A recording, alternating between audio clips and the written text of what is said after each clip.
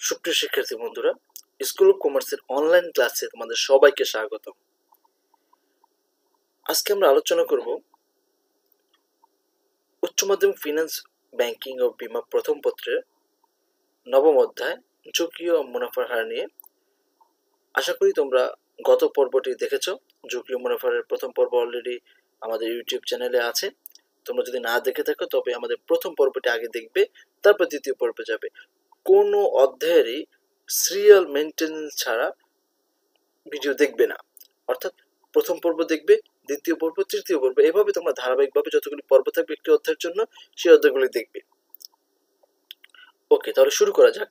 আমরা আজকেও যে বইটি নিয়ে থেকে আলোচনা করব, সেই বইটি আমাদেরই রচিত, প্রকাশিত বই ফিনান্স ব্যাংকিং ও বিমা প্রথম পত্র বই থেকে।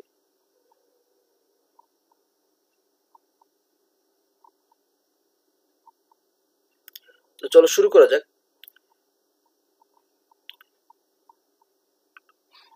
ঝুঁকি পরিমাপ পদ্ধতি। তার আগে একটু বলে নেই গত ভিডিওর আলোকে তোমরা অনেকে জানতে চেয়েছো যে পোর্টফোলিও ঝুঁকি কি।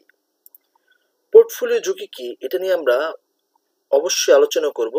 আলোচনা করব কখন? আমরা এই আদর্শ বিচ্যুতি বা এই আমরা আগে যে টার্মের অঙ্কগুলি শিখেছি, এখন যে টার্মের অঙ্কগুলি শিখব, এরপরে আমাদের অবশ্যই পোর্টফোলিও অঙ্কগুলি আছে। পোর্টফোলিও অঙ্কের সময় আমরা পোর্টফোলিও বিষয়টি তোমাদেরকে বুঝিয়ে দেব। তো চলো শুরু করা যাক। ঝুঁকি পরিমাপ পদ্ধতি। ঝুঁকি পরিমাপের পদ্ধতি অনেক রকম রয়েছে, কিন্তু তোমাদের এই ইন্টারমিডিয়েট শ্রেণির জন্য দুটি পদ্ধতি তোমাদেরকে বোর্ড কর্তৃক দেওয়া হয়েছে। কি কি পদ্ধতি? একটি হচ্ছে আদর্শ বিচ্যুতি পদ্ধতি, একটা হচ্ছে বিবেদাঙ্ক পদ্ধতি। অর্থাৎ আমরা প্রথমে চিন্তা করব আদর্শ বিচ্যুতি দিয়ে, অর্থাৎ স্ট্যান্ডার্ড ডেভিয়েশন দিয়ে ঝুঁকি নির্ণয় করা যায় কিনা? যদি আমরা দেখি যে না, কোনো প্রজেক্টে আদর্শ বিচ্যুতি দ্বারা আমরা ঝুঁকি নির্ণয় করতে পারছি না, সেক্ষেত্রে বিবেদাঙ্ক মাধ্যমে আমাদেরকে ঝুঁকি ঝুঁকিগুলো নির্ণয় করতে হয়। তো চলো কথা না বলে অঙ্কগুলো শুরু করা যাক। প্রথমে আদর্শ বিচ্যুতি। তোমরা নবম, দশম শ্রেণীতে আদর্শ বিচ্যুতি খুব ভালো করে পড়ে আসছো। তবে নবম, দশম শ্রেণির সাথে এটা কিছুটা মিল থাকলেও মোটামুটি ওইখান থেকে একটু জটিল আছে। কীরকম? আদর্শ বিচ্যুতি কি? আদর্শ বিচ্যুতি হচ্ছে একটি পরিসংখ্যানিক পদ্ধতি যা ব্যবহার করে অতীত ও ভবিষ্যৎ থেকে অর্জিত আয়ের ব্যবধান থেকেও ঝুঁকিও পরিমাপ করা যায়। অর্থাৎ কি? আদর্শ বিচ্যুতি একটা পরিসংখ্যানিক পদ্ধতি যার মাধ্যমে ঝুঁকি নির্ণয় করা যায়। সোজা কথা। এরপরে আদর্শ বিচ্যুতি নির্ণয়ের দুই ধরনের সূত্র আছে। একটিকে আমরা বলতেছি সম্ভাবনা থাকলে, আরেকটিকে বলতেছি সম্ভাবনা না থাকলে। প্রথমে আসি, যদি সম্ভাবনা না থাকে, সেক্ষেত্রে সূত্রটি বেশ সহজ। একেবারে নবম দশম শ্রেণির মতো সূত্র কোনো পরিবর্তন আসবে না। সম্ভাবনা অথবা প্রবাবিলিটি না থাকলে। সূত্রটা কি? এই চিহ্নটার নাম হচ্ছে, এই চিহ্ন নাম হচ্ছে সিগমা চিহ্ন।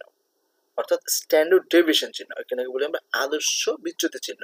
তো আমরা স্ট্যান্ডার্ড ডেভিশন বলব। যেহেতু আমরা ইন্টারমিডিয়েট লেভেলে আছি নাইন টেনে নাই সেক্ষেত্রে আমাদের কি করতে হবে? আমাদেরকে মোটামুটি ইংলিশ টার্মগুলি ভালো করে জেনে নিতে হবে। যে বিবিএ এম তে যারা পড়ছো বা পড়বে, তাদের জন্য এই টার্মগুলি খুব ইম্পর্টেন্ট কারণ এই টার্মগুলি তখন সেখানে থাকবে।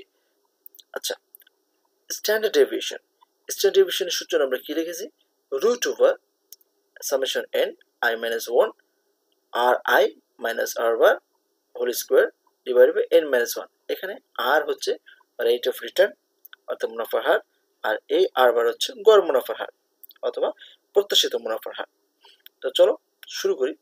আচ্ছা কীভাবে বুঝব যে আমি প্রয়োগ করব? এটা তোমাদের সবচেয়ে মোস্ট ভাইটাল কোয়েশ্চেন এটার উত্তর হচ্ছে যখন তোমরা প্রশ্ন দেখবে যে আদর্শ বিচ্যুতি নির্ণয় করো বলা আছে এবং সম্ভাবনার মান দেয়া নেই, সম্ভাবনার মান দেওয়া না থাকলে তখন আমরা কি করব?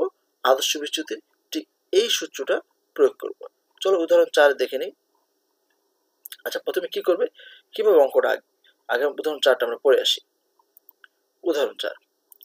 মিস্টার জাকারিয়া এডুকেশন কেয়ার লিমিটেডের সত্ত্বাধিকারী ব্যবসায় বিদ্যমান ঝুঁকি ও অনিশ্চয়তার বিষয়টি বিবেচনা করে তিনি নিজস্ব অর্থায়নে দোয়েল প্রকল্প চালু করেন। বিভিন্ন রকম বাধা বিপত্তির কারণে প্রত্যাশিত মুনাফা অর্জন করতে তিনি ব্যর্থ হন।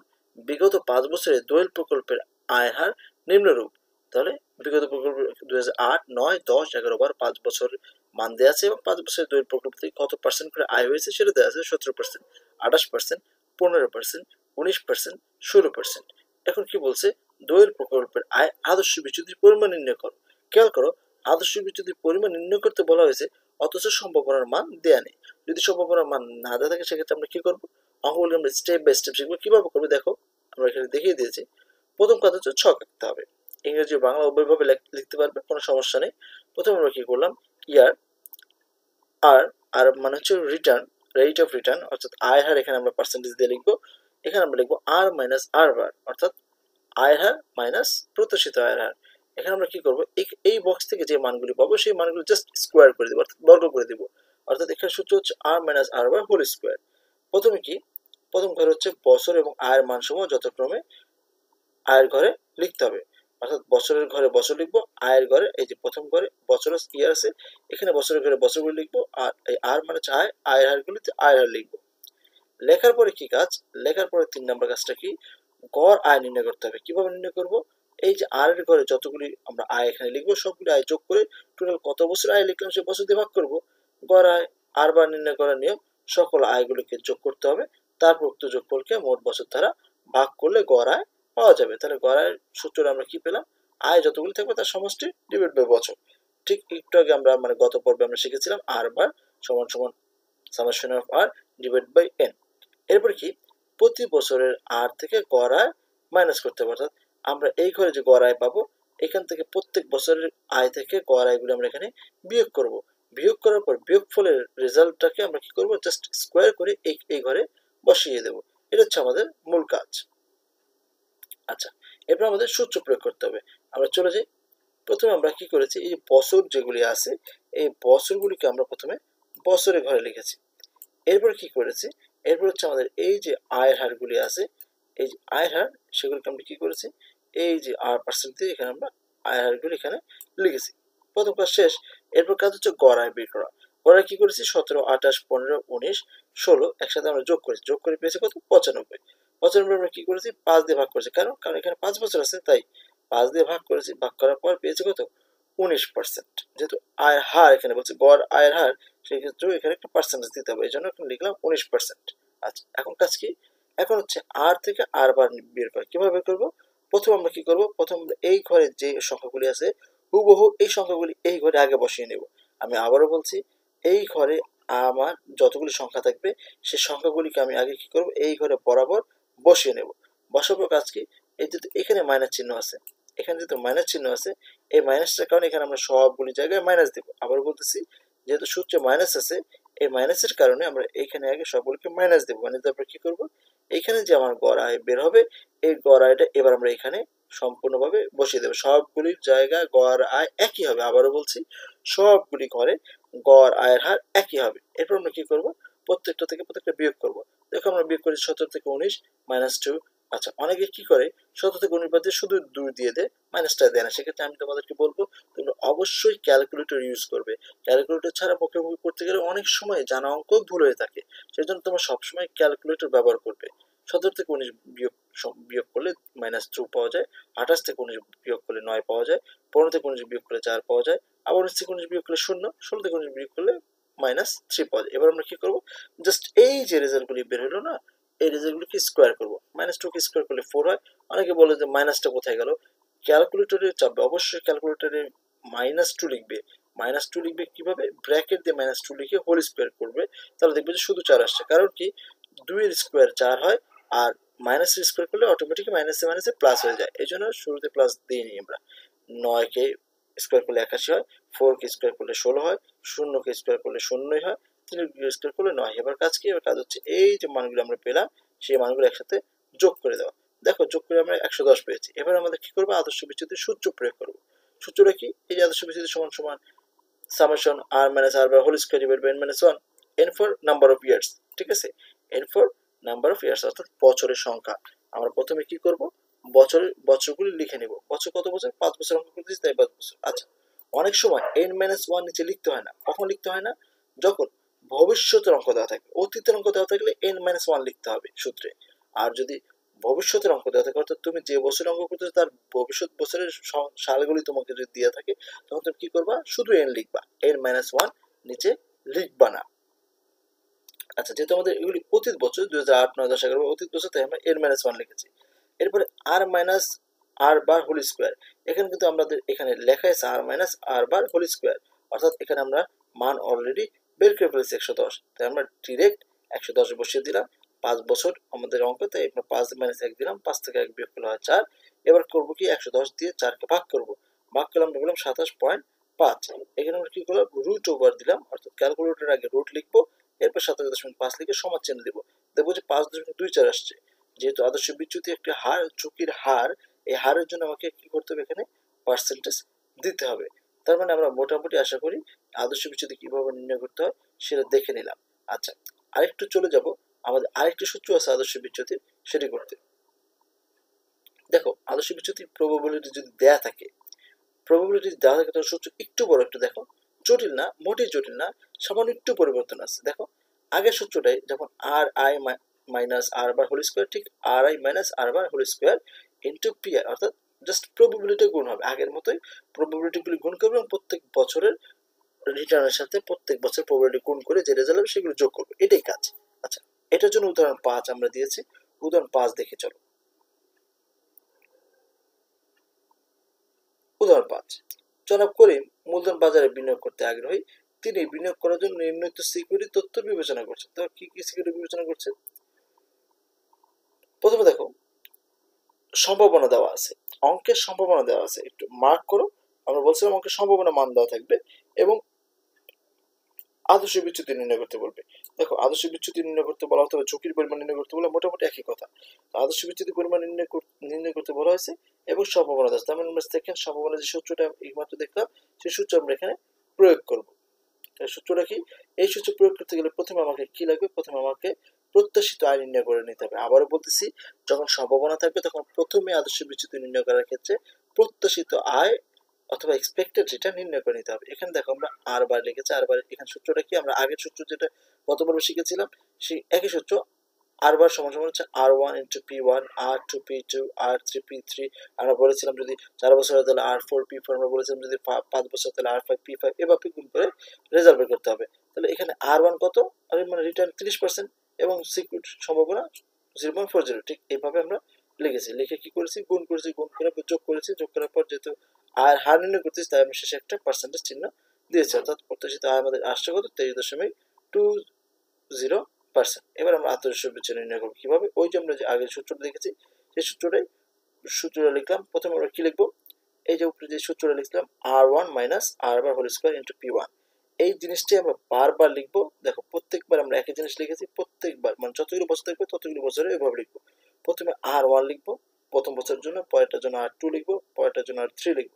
ঠিক একইভাবে আমরা যেহেতু প্রবাবিলিটি গুণ করি প্রবাবিলিটি অর্থাৎ সম্ভাবনা থাকলে যে প্রথমটার জন্য পি ওয়ান পরের জন্য পি টু পরের জন্য পি থ্রি আচ্ছা এখন আমরা আর থেকে আর মাইনাস করব। আর ওয়ান কোনটা? আর ওয়ান হচ্ছে এই যে শুরুতে যে ত্রিশ পার্সেন্ট আছে, সেটা হচ্ছে আর ওয়ান লিখলাম ত্রিশ পার্সেন্ট এবার কি করব? আর বা আর বার কোথায়? একটু আমরা আর বার নির্ণয় করছি, তেইশ দশমিক টু জিরো এভাবে লিখব আমরা তেইশ দশমিক টু জিরো অর্থাৎ প্রত্যেক জায়গায় কিন্তু আর বারের মান তেইশ দশমিক টু জিরোই হবে।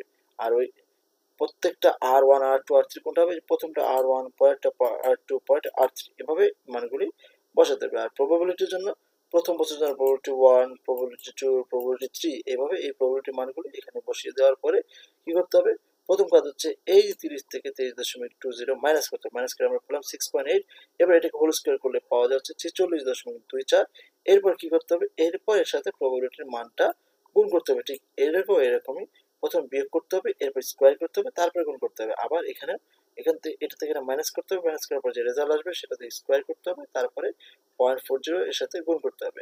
এগুলো গুণ করার পর যে রেজাল্ট আসবে সেটাকে রুট ওভার করলে, দেখো এখানে চলে আসছে পাঁচ দশমিক ছয় শূন্য। পাঁচ দশমিক ছয় শূন্য যেহেতু আদর্শ বিচ্যুতি ঝুঁকির হার, তাই আমরা এখানে একশো গুণ না করে পার্সেন্টেজ সরাসরি চিহ্ন দিয়ে দিয়েছি। এবার সিদ্ধান্ত গ্রহণ। দেখো, সিদ্ধান্ত গ্রহণ ফিনান্সের আমরা মূলত ফিনান্স করি হচ্ছে সিদ্ধান্ত গ্রহণ করার জন্য। অর্থাৎ কোন প্রকল্প নিলে লাভ হবে, কোনটা নিলে ক্ষতি হবে, সেটা জানানোর জন্যই আমরা মূলত ফিনান্সের অঙ্কগুলি করে থাকি। একজন ফাইন্যান্সিয়াল ম্যানেজারের কাজই হচ্ছে সিদ্ধান্ত দেওয়া। তো সিদ্ধান্ত নিতে যদি ভুল করো, তাহলে অবশ্যই প্রজেক্টে ক্ষতি হবে। আর সিদ্ধান্ত নিতে যদি তুমি সঠিক সিদ্ধান্ত গ্রহণ করো, সেক্ষেত্রে তোমার প্রজেক্টটা অবশ্যই সঠিক হবে। তো দেখো কীভাবে? সিদ্ধান্ত নেবে। একক প্রকল্প আরেকটা হচ্ছে পরস্পর বর্জনশীল অথবা একাধিক প্রকল্প। একক প্রকল্প কি? একক প্রকল্প হচ্ছে যখন কোনো প্রজেক্টে অর্থাৎ যখন কোনো প্রকল্প একটাই থাকে, অর্থাৎ যে কোনো তুমি যে কোনো একটা প্রজেক্টে ইনভেস্ট করবে, তোমাদের যদি একটা প্রকল্পই থাকে, সেক্ষেত্রে তোমাকে দেখতে হবে আদর্শ বিচ্যুতির মানটা আয় হারের চেয়ে বেশি না কম। অর্থাৎ আয় হারের চেয়ে বেশি যদি হয়, তোমার আদর্শ বিচ্যুতির মান, আদর্শ বিচ্যুতির মান মানে ঝুঁকির মান। তোমার আয়ের হার যদি বেশি হয়, আর ঝুঁকির মান যদি, অর্থাৎ আদর্শ বিচ্যুতির মান যদি কম হয় সেক্ষেত্রে প্রকল্পটি তুমি গ্রহণ করবা। একক প্রকল্পের ক্ষেত্রে, আমি আবারও বলছি, একক প্রকল্পের ক্ষেত্রে তোমার আদর্শ বিচ্যুতির মান যদি কম হয় এবং আয়ের হার যদি বেশি হয়, সেক্ষেত্রে তুমি গ্রহণ করবা। আর যদি তোমার আয়ের হার কম হয় আর আদর্শ বিচ্যুতির মান বেশি হয়, সেক্ষেত্রে তুমি প্রকল্পটি গ্রহণ করবা না। কারণ আদর্শ বিচ্যুতির মান আয় থেকে যত বাড়বে, তোমার ঝুঁকি তত বাড়বে। এবার আসো একাধিক প্রকল্পের ক্ষেত্রে বা পরস্পর বর্জনশীল প্রকল্পের ক্ষেত্রে। পরস্পর বর্জনশীল প্রকল্প কি? যখন আমার হাতে দুটো প্রজেক্ট থাকে, এর মধ্যে একটাকে চুজ করতে হবে, আরেকটাকে বাদ দিতে হবে। যখন আমি একটাকে চুজ করতে গিয়ে আরেকটাকে বাদ দিয়ে দিই, তখন সেটাকে আমরা বলি হচ্ছে পরস্পর বর্জনশীল প্রকল্প। কীভাবে আমরা সিদ্ধান্ত নেব দেখো? আমরা সিদ্ধান্ত টেবিলটা একটু দেখি। দেখো, প্রকল্প এক্স প্রকল্প ওয়াই দুটো প্রকল্প আছে। অর্থাৎ দুটো প্রকল্প মানে হচ্ছে পরস্পর বর্জনশীল প্রকল্প যখন একটা ইউজ করব। প্রথম প্রকল্পে দেখো যদি গড় হয়, আমরা একটা আনুমানিক ধরে নিয়েছি। গড় হয় তেরো পার্সেন্ট দেখিয়েছি এবং আদর্শ বিচ্যুতি দেখা যাচ্ছে পনেরো পার্সেন্ট তাই দেখো, আদর্শ বিচ্যুতি মানে ঝুঁকি। ঝুঁকি হচ্ছে পনেরো পার্সেন্ট আর আয় হচ্ছে তেরো পার্সেন্ট তার মানে অটোমেটিক্যালি আমরা বলতে পারি এই প্রজেক্টটা গ্রহণযোগ্য না। কারণ তুমি যদি তেরো টাকা ইনকাম করতে চাও, তোমার পনেরো টাকা ক্ষতির সম্ভাবনা আছে। অর্থাৎ তেরো টাকা যদি ইনকাম না হয়, তাহলে তুমি পনেরো টাকা ক্ষতি হবে। পনেরো টাকা ক্ষতির একটা চান্স আছে। আর এখানে প্রকল্প ওয়াইতে আয় হচ্ছে পনেরো পার্সেন্ট আদর্শ বিচ্ছিন্ন হচ্ছে তেরো পার্সেন্ট অর্থাৎ এই প্রকল্পে তুমি যদি নাও, তাহলে তোমার যদি তেরো টাকা লসও হয়, তাহলে তুমি দুই টাকা তোমার প্রফিট কিন্তু থেকে যাবে। আর এখানে যদি তোমার, তুমি তেরো টাকা আয় করো, আর যদি তোমার ঝুঁকি হয় পনেরো পার্সেন্ট যদি তোমার ক্ষতি হয়, তখন কি হবে? দুই টাকা তোমার এক্সট্রা ভর্তুকি দিতে হবে। কিন্তু তুমি প্রকল্প ওয়াই নিলে তোমার আয় হারে বেশি, অর্থাৎ তুমি যদি তেরো পার্সেন্ট ক্ষতিও হয় তবে তুমি দুই টাকা তোমার এক্সট্রা থাকবে। সুতরাং এই দুটি প্রকল্পের ক্ষেত্রে আমরা বলতে পারি প্রকল্প ওয়াই গ্রহণযোগ্য। আচ্ছা। পরেরটা দেখো, গড় আয় আঠারো পার্সেন্ট আদর্শ বিচ্যুতি ছয় পার্সেন্ট অর্থাৎ আয়ের তুলনায় প্রায় তিন ভাগ কম ঝুঁকি। আবার গড় আয় বিশ পার্সেন্ট আদর্শ বিচ্যুতি পনেরো পার্সেন্ট তো দেখো, এখানে ঝুঁকিও বেশি মুনাফা বেশি। ঝুঁকি কম, মুনাফা কম। কিন্তু খেয়াল করো, এখানে প্রতি আঠারো টাকার জন্য ছয় টাকা ঝুঁকি আছে। অর্থাৎ তোমার কিন্তু আঠারো থেকে ছয় বাদ দিলে বারো টাকা কিন্তু মুনাফা থাকবে। যদি ছয় টাকা ক্ষতিও হয় তাও তোমার বারো টাকা মুনাফা থাকবে। অপরদিকে প্রকল্প ওয়াইতে কি হচ্ছে? বিশ টাকা আয় বিপরীতে তোমার পনেরো টাকা ক্ষতির সম্ভাবনা আছে। অর্থাৎ যদি পনেরো টাকা ক্ষতি হয়, তোমার আয় হবে পাঁচ টাকা। যদি পনেরো টাকা ক্ষতিও হয়, তা আয় হবে পাঁচ টাকা। এই দিক থেকে আমরা বলতে পারি, যদি আমার ছ টাকা ক্ষতি হয়, তো আমি আয় করতেছি বারো টাকা। না হলে তো আঠারো টাকা করতেছি। কিন্তু যদি ছ টাকা ক্ষতি হয়, তো আমি আয় করতেছি বারো টাকা। সুতরাং দুটি প্রকল্পের মধ্যে এরকম যদি সিদ্ধান্ত নিতে বলে এবং আমরা যদি এরকম মান পাই যে না, দুটোই, কোনোটাই যদি ঝুঁকির সম্ভাবনা আছে মানে একেবারে ক্ষতি যেরকম আমরা একটু আগে দেখেছি যে এখানে ইয়ের তুলনায় আয়ের তুলনায় ঝুঁকি বেশি, এখানে কিন্তু দুইটাতেই ঝুঁকির পরিমাণ কম আয়ের তুলনায়, অর্থাৎ দুই জায়গায় আয় বেশি। এক্ষেত্রে আমরা কোনটা নেব? এক্ষেত্রে আমার আয় যেটা বেশি হবে, সেটা নেব। ন্যাচারালি আমরা এখানে দেখতে পাচ্ছি আঠারো থেকে ছয় বাদ দিলে বারো টাকা আমার আয় পাওয়া যাচ্ছে, সুতরাং আমরা প্রকল্প এক্সই নেব এক্ষেত্রে। আচ্ছা আরেকটি আমরা অবস্থা দেখি। আরেকটা অবস্থা দেখতে পাচ্ছি যে প্রকল্প এক্সের গড় আয় বিশ পার্সেন্ট আদর্শ বাইশ পার্সেন্ট অর্থাৎ আদর্শ বিচ্যুতি মানে ঝুঁকি বেশি, আয় কম। আবার প্রকল্প হইতে আয় তেরো পার্সেন্ট ঝুঁকি হচ্ছে পনেরো পার্সেন্ট অর্থাৎ এই প্রকল্পে দেখো, ঠিক এই প্রজেক্ট এরকম যদি দুটো প্রজেক্ট তুমি পাও কখনো যে না, দুটোরই তোমার কি আয়ের হার কম, আদর্শ বিচ্যুতির মান বেশি, অর্থাৎ ঝুঁকির মান বেশি, আয় কম। সেক্ষেত্রে কোনো প্রকল্পই গ্রহণযোগ্য নয়। কারণ আমি কখনোই এমন কোনো প্রকল্প হাতে নিব না, যে প্রকল্প আমি দশ টাকা ইনকাম করতে গেলে আমার বারো টাকা ক্ষতি হওয়ার চান্স আছে। আমি সর্বোচ্চ দশ টাকা যদি আমার আয়ের সুযোগ থাকে, আমার দশ টাকায় হারানোর সুযোগ আছে। আবারও বলতেছি, আমি যদি দশ টাকা ইনভেস্ট করি, আমার দশ টাকা লস হলেও আমার তেমন, আমার ক্ষতি হবে, কিন্তু ইফেক্টটা পড়ব কখন? যখন আমি দশ টাকা বিপরীতে আমার পনেরো টাকা ক্ষতি হচ্ছে। অর্থাৎ দশ টাকা আমার যে ইনভেস্টমেন্ট যেটা ছিল, সেটা তো গেলই আরও পাঁচ টাকা আমি ঋণী হয়ে গেলাম, আর পাঁচ টাকা আমাকে ভর্তুকি দিয়ে ঋণ পরিশোধ করতে হবে। এরকম কোন প্রজেক্ট আমরা কখনোই বিনিয়োগ করি না। আশা করি তোমার সিদ্ধান্ত টেবিলে খুব ভালো করে বুঝেছ। যদি না বুঝে থাকো, তাহলে সিদ্ধান্ত কীভাবে নেবে সেই টেবিলটা এই পাশে দেওয়া আছে, তোমরা ভিডিওটি পজ করে করে দেখতে পারবে। আশা করি তোমাদের আজকের ভিডিওটি আমাদের ভালো লেগেছে। যদি আমাদের ভিডিওটি তোমাদের ভালো লেগে থাকে ন্যাচারাল কথা, যদি ভালো লেগে থাকে তাহলে তোমরা আমাদের তো লাইক দেবেই। কমেন্ট করো, যদি ভালো না লাগে, ভালো লাগে, কি করলে আরও ভালো লাগতো, বা কোন পয়েন্টে তুমি বোঝো নেই, এখানে কমেন্ট করো তোমার ফেসবুক স্কুল অফ কমার্সে গিয়ে তুমি আমার নোট করে লিখতে পারো যে তুমি এই টপিকটি বুঝতে পারোনি। আমরা সবসময় তোমাদের জন্য সচেষ্ট আছি। আর তোমাদের এই একটি বই অনেক দূর মানে honours first year second year third year fourth year বিশেষ করে ন্যাশনাল ইউনিভার্সিটি স্টুডেন্টদের খুব খুব খুব বেশি কাজে আসবে। এত বইটা তোমরা হাতে নিয়ে দেখো এবং আমি যে কথাগুলি বলছি সেটা তোমার ভিডিও লেকচার দিয়ে শোনো, আমি বিশ্বাস করি তোমার কোনো হোম থিয়েটার লাগবে না। যাই হোক, তুমি আমাদের আমাদের চ্যানেলটা অবশ্যই সাবস্ক্রাইব করে রাখবে এবং বেল আইকন বেল আমাদের একটা আইকন আছে ইউটিউবে তোমরা জানো, সেখানে ক্লিক করে রাখলে আমরা নতুন নতুন ভিডিও পোস্ট করব, সেটা তোমরা দ্রুত পেয়ে যাবে। সুতরাং সেখানে ক্লিক করে রাখো সাবস্ক্রাইব করে রাখো শেয়ার করে রাখো, আমাদেরকে ভালো লাগলে আমাদেরকে লাইক কমেন্টের মাধ্যমে জানাও। আজকের মতো আল্লাহ হাফেজ।